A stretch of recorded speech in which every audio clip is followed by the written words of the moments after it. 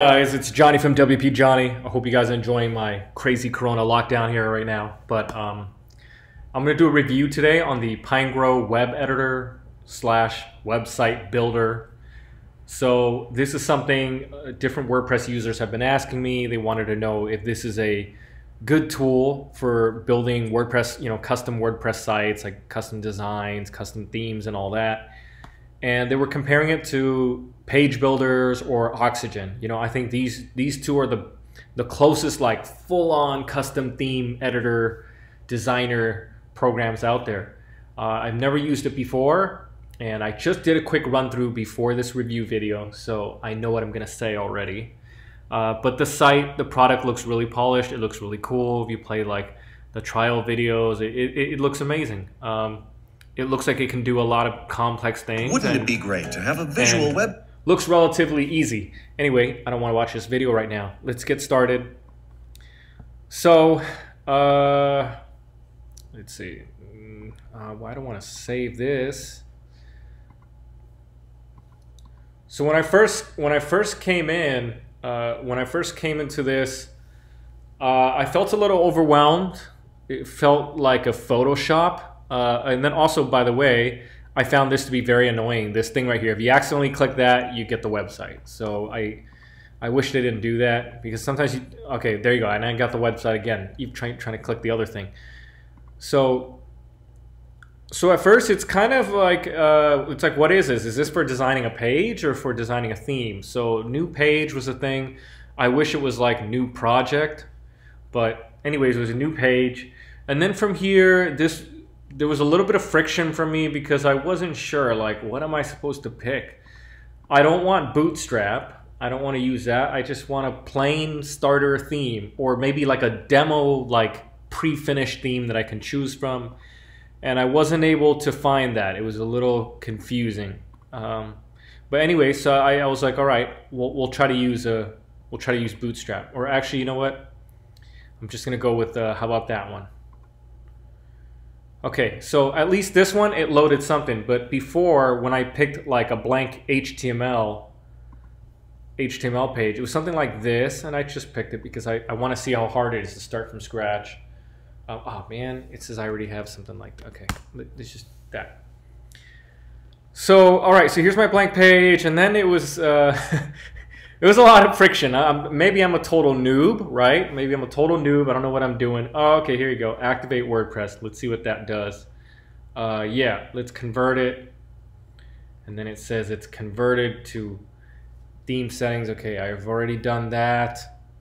And okay, folder doesn't exist, so create it first. So anyway, you, you have to put all kinds of stuff in, and let's pretend I did that like these icons on top are a little ambiguous for me. I didn't know, you know, what each one did just from looking at it. So if you compare it to like say Elementor or Divi, on the left side, it'll tell you like this is a block, this is a this widget, that kind of design module. Up here, like these little icons. See what just happened? What just happened? Okay, it took me to like a preview. So like I said, there was a lot of friction. Um, I just felt like I didn't know what things meant. Okay. Um, and yeah, it's a little bit like Photoshop. It feels very professional. It's very polished, very quick, right? Because I'm working locally. I, I don't have to wait for things to load on the internet. That's kind of cool. You can design a website while uh, while you're on on an airplane going somewhere, right? You're flying to your vacation. You can knock out a, a custom WordPress site. Uh, then this is okay. This is your style sheets down here. So that's kind of cool. Um, it's it's sort of a little bit like Adobe's old uh, Dreamweaver or Macromedia Dreamweaver, something like that. It has that kind of vibe. So right off, uh, I would say that there's a lot of friction. Just getting started, I wasn't sure like how to get started. I wanted to like import a demo site, and I, I just couldn't figure that out. Um, and then I even tried going to the documentation documentation page, and then it like it tells you this documentation page is outdated. Please go to this other one. So you know, and I got stuck here pretty much, and I didn't I didn't even want to bother with it anymore. Um, also, too, while I was working on it, you know what I got to thinking? I was like, how do I get my content in here? Because I want to see what my content looks like, right?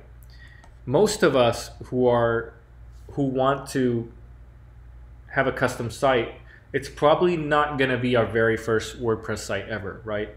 Maybe we have an existing site built off some theme, and then now we're going, you know what? We want something cleaner. We don't want a page builder. We want more design flexibility. So most people using something like this are probably going to be, you know, redesigning their site, an existing site. And because this is done offline, it's not connected to your website, so I can't even see my content in here. It's kind of weird, right? Like if you think about interior design, you have to put stuff in your house first, like the actual main furniture and pieces, and then comes the decor on top of it. But to work in a program like this, feels you're doing it feels like you're doing the decor before you put the main design, before you put the floors and and the refrigerator and the important appliances. So it, it, it's hard. It, it's going to be a lot of friction for me. I don't recommend this tool if you're just wanting to do one custom site, one and done for your personal site. I think it's going to be a hell of a lot easier going with Oxygen Builder or like um, a, or one of those bloated page builders or one of these Gutenberg block libraries or Gutenberg page builder. You know, I think that's going to be a lot easier for you. Uh, Pinegrow would probably be great if you plan to design many websites. If you're going to do tons of custom sites and lots of custom designs, you've taken the time to really get the workflow nice and smooth, nice and streamlined, and you get very comfortable with the program, then it's great. But if you're just an in and out guy like me, or you thought it was going to be easy, I'm going to tell you right now, like looking at it, like I don't feel like it's easy. Um, I, I just wasn't able to put stuff together and and I think and I even wonder if it's made for for WordPress. I think it's made for many different kinds of sites and they've now adjusted it to cater to WordPress, right? So those are my those are my thoughts. I still think it's an awesome tool. I just personally uh, I think there's easier tools to get going, and I wouldn't use this unless you really like this and this is your desired workflow. All right, hope that helps. See you guys next time.